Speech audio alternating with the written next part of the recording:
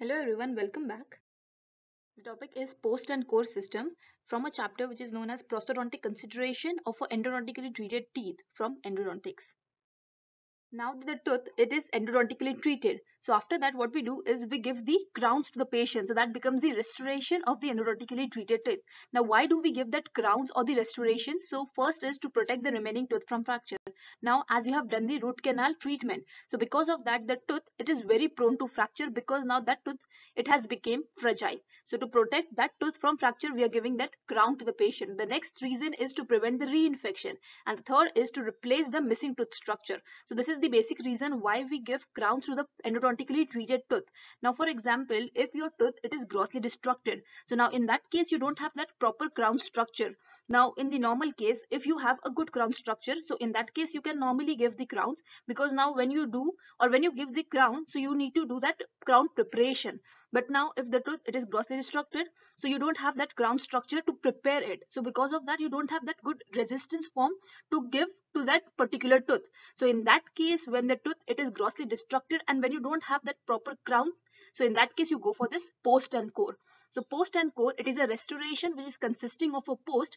So that fills a prepared root canal. So post and core is basically two parts of your system. So post is the part which goes into the root canal and the core, it is inserted into the pulp chamber that establishes the proper coronal tooth preparation.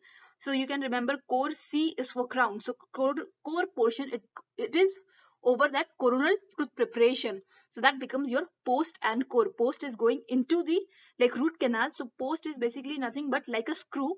So you get that proper resistance with the help of this post and core for a grossly destructed tooth.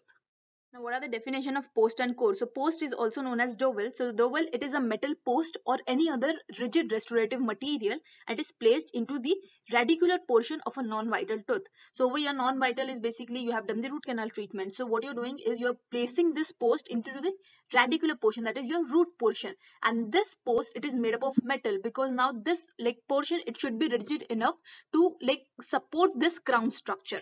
So it is made up of metal and it is fitted into a prepared canal of the natural tooth. So over here now you have done the root canal treatment. So now as we have done the obturation in the root canal treatment, what we are doing is we are going to remove this gutta percha and we are just going to leave around 3 to 4 mm of gutta percha over here and then we are going to prepare this canal to place this post and after that you place this post over here. So when combined with an artificial crown or core, it provides retention and resistance for the restoration. And this definition is given by Glossary of Prosthodontics. So that becomes your post. Post is basically nothing but this portion of metal which is going into the radicular space. And core, it refers to a properly shaped and well substructure which replaces the coronal structure and it retains the final restoration. Now over here, this becomes, so now what you do is over here. So this is your post which is going into the root canal. And over here this is the core. And over this core you place this crown. So that becomes your core. So it is a properly shaped and well substructure and it replaces the coronal structure and retains the final restoration. So the core it is designed to resemble or become the crown preparation or crown itself. So when there are scenarios like you don't even need to place this crown over here. So this like core it itself acts as a crown in some cases but mostly what you do is you do the preparation of this core properly like you do in the normal scenario and then you place a crown over it. And again this definition of core is given by glossary of prosthodontics. So these are the various definition for your post and core by the glossary of prosthodontics now, what are the indication of this post and core? First one is where the natural crown of the root filled teeth, it either has been lost or it is extensively damaged. So, when the crown portion of your tooth, it is damaged or it is lost. So, in that case, you need to go for post and core. The next is where the root filled tooth is to be used as a bridge abutment. Now, when you have to use, so you have done the root canal treatment of particular tooth and that tooth is to be used as an abutment for your construction of a FPD bridge. So, in that case, you need to go for post and core for that particular root root canal treated tooth. The next is where a change in the axial position it is greater than 1 mm and the next can be when the tooth it is more prone to fracture. So in that case when the tooth is more prone to fracture so in that case you have to go for this post and core. Now, what are the contraindications of this post and core? So, first one is if there is severe curvature of the root, that means the dilaceration of the root. So, now in this case, now as we are like inserting that post into the root canal and if the root is only curved so now that metal portion it cannot be curved so because of that you cannot use this post and core in dilacerated tooth The next is persistent periapical lesion. So if there is this persistent periapical lesion, that means there is infection which is present. So again, you cannot go for this post and core. The next contraindication is if the periodontal health of the tooth it is poor. The next is if the crown to root ratio is poor. So now we have seen in the abutment selections that the crown to root ratio ideally it is 2 is to 3 or the least accepted one is 1 is to 1 but now in the cases where the crown it is larger than the root. So again that means it is a poor crown to root ratio. So again you cannot go for this post and core. Now if the roots they are weak or fragile so the teeth with heavy occlusal contacts again they cannot go for this like post and core because now as you're inserting that post so if the occlusal contact is, heavy so there are chances that your tooth it will get fractured. Then the patients with unusual and the occupational habits economic factor because now this post and core system it is expensive. So if the patient they are having some economical problems so again you cannot go for this post and core. And the next contraindication is the inadequate skill. So these are the various contraindications of post and now, what do you mean by biologic width? So, space is required between the margin of the restoration and the crest of the bone to have a healthy gingival attachment apparatus. So, to have that good gingival attachment apparatus, there should be space which should be present between this crest of the bone and the margin of the preparation and this space is nothing but the biologic width. So Gargiulo, he said that the dimension of this attachment apparatus, it should range from 1.7 mm to 2.43 mm. So he said that there should be at least 2.5 mm space. So this means that there should be absolute minimum of 2.5 mm space between the restoration margin and the crest of the bone. So over here now this is the crest of the bone and this is the margin that is the margin of the preparation of that particular crown. So this space it should be at least 2.5 mm.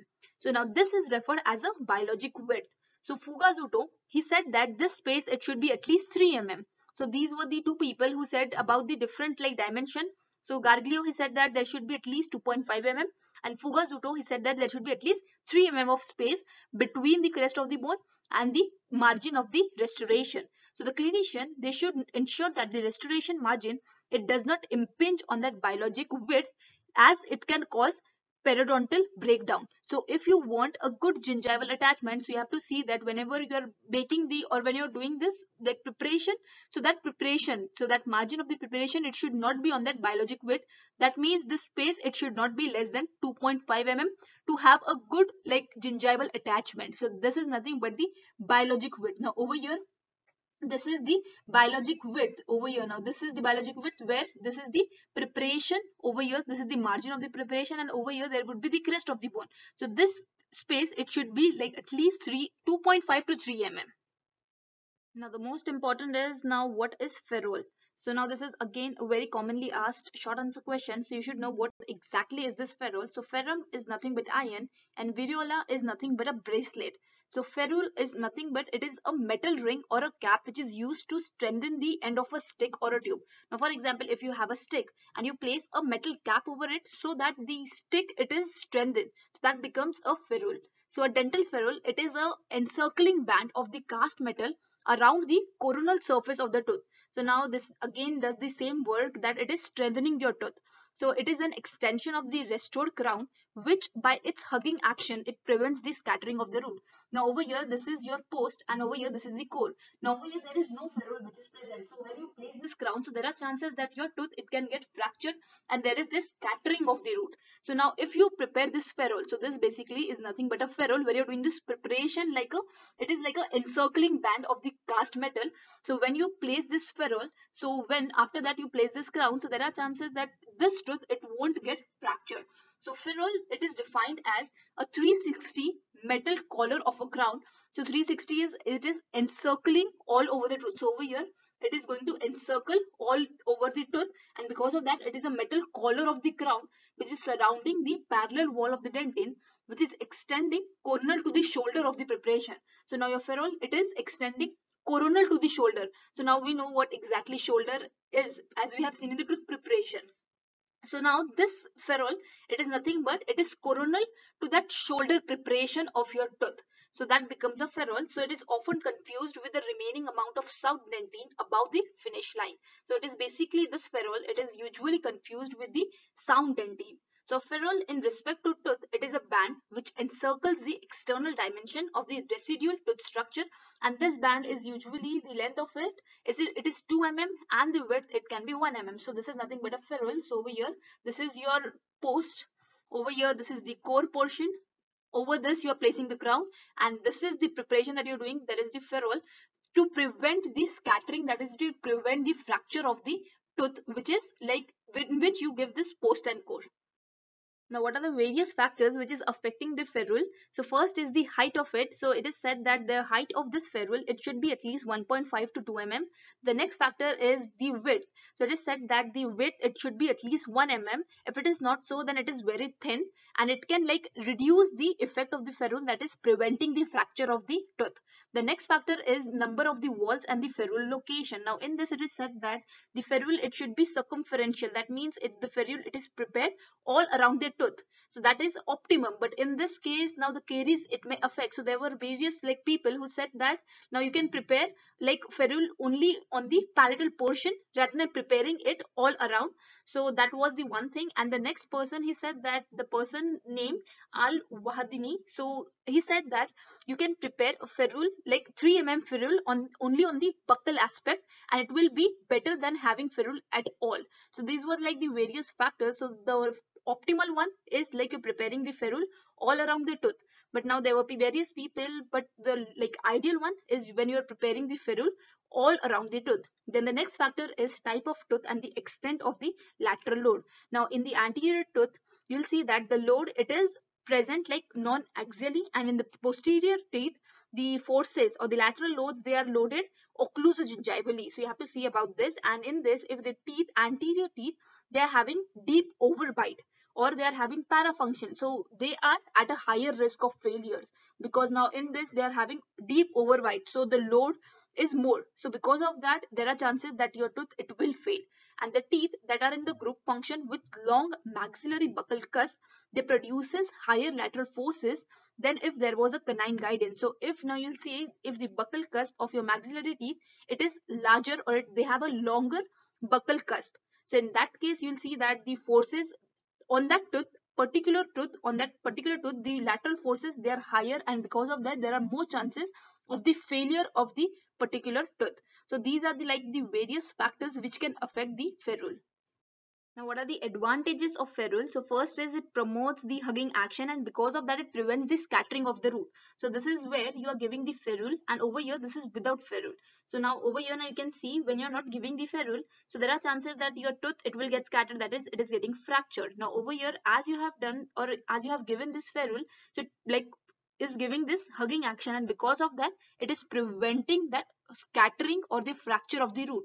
So it also has this anti-rotational effect and reduces the wedging effect on that particular post and it resists the functional lever forces and the lateral forces which are exerted during the dowel insertion and because of that like when you're inserting this post into the canal so it will like resist the lever forces on that particular like during that particular dowel insertion and because of that it will prevent the fracture or the scattering of the root. So basic like function or the advantage of this ferrule is nothing but it prevents the scattering of the root so now this is the basic procedure for your like post and core system. So now over here now as we have done the root canal treatment so there was this obturation which was done with the help of gutta percha. Now as you have to insert that post so because of that what you're going to do is you're going to remove this gutta percha and you're going to, just leave around 3 to 4 mm like gutta percha in the apical portion and rest you're going to remove and after that you're going to enlarge this root canal with the help of GG drill that is your Gates Glidden drill.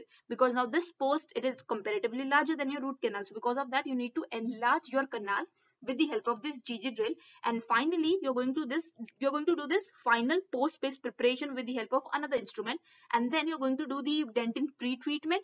And after that you're going to place a luting agent. Because now you need to lute this particular post into the canal. So you're going to place the luting agent and then you're going to insert the post. And after that you're going to do the build up that is the core build up and then you're going to do the abutment preparation. Now over here you can see this is the ferrule which is prepared and this is the like preparation which is done of your particular core and after that you're going to place the crown over it. So this is the basic procedure for your post and core So this was all about the first part of the post and core system. Now in the next part, I'm going to cover everything about the classification of post because now again that classification of post is very commonly asked in your exam. So I'm going to cover everything about the classification of post as per your exam point of view.